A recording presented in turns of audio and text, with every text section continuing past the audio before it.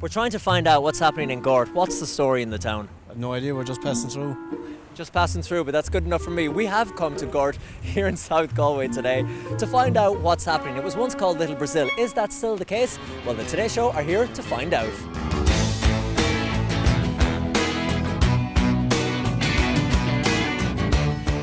Somebody told me, I don't know if it's true or not, that actually on your local GAA team there's a Brazilian player.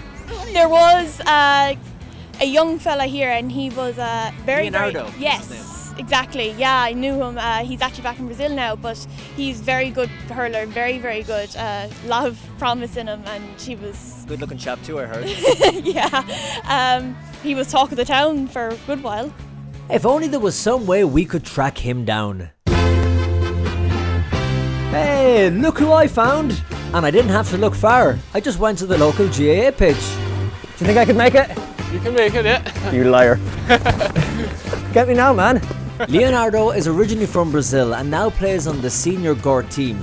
And he agreed to show me a few moves. God, look at the state of me.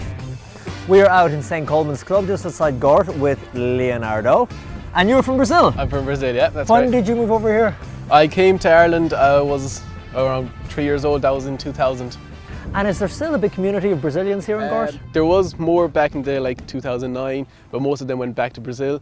But um, they're kind of, there's, there's, you, if you go around town now, you'll see quite a few already now. Next stop, the local hardware store, which is also a bar. How many hardware shops in the country have a bar at the back of them? Not too many now. One time it was quite common. Farmer would come in during the winter, half nine, ten o'clock in the morning. Yeah. Oh my God, he said, I had a terrible calving case last night. I'm frozen. Can I have a hot whiskey and a bottle of porter? And that would be it.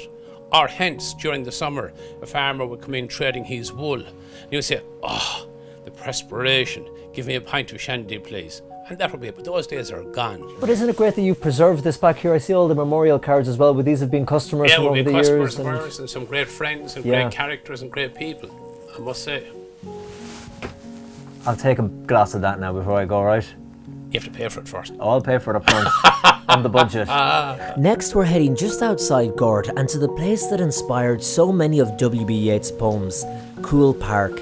And there I'm meeting local nun, Sister Delourdes Fahy. So, Sister Delourdes, this is a place that you would have come many times over the years. That's right. I was born about uh, near Thoor Ballylee, which is about four miles from here. And my parents, my grandparents were tenants of the Gregories. And we're standing here in the middle of Coole Park. We have the, the beautiful lake not too far away that, of course, inspired the great W.B. Yes, Yeats poem. Wild swans at Coole, yes. He said he knew the edges of that lake better than any place else in the world. Wow. The tree here, we're at a Copper Beech tree. Copper beech tree, uh, very, very old.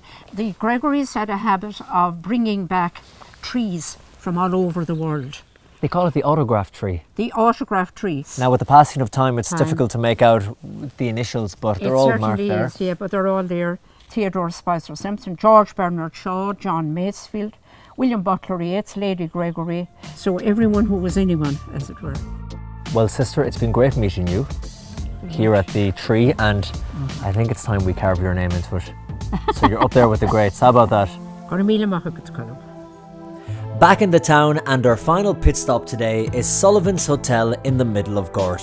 And in at the bar is the owner, John Sullivan. That must be the famous, or infamous, I don't know which it is, John Sullivan. Well, you're correct there, Colm. Anyway, I don't know about the famous bit. The hotel is over 170 years old, and over the years has played host to some very impressive guests.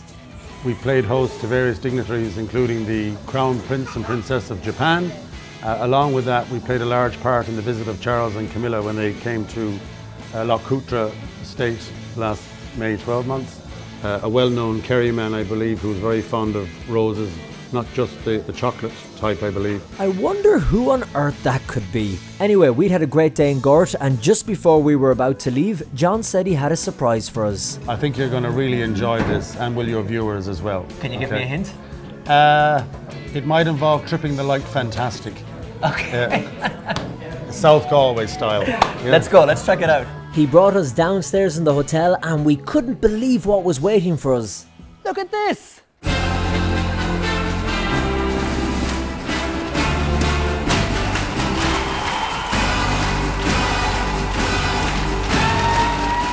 These talented dancers are all part of the Gavin Dance Academy, and recently a video of them performing this dance went viral online, receiving hundreds of thousands of hits.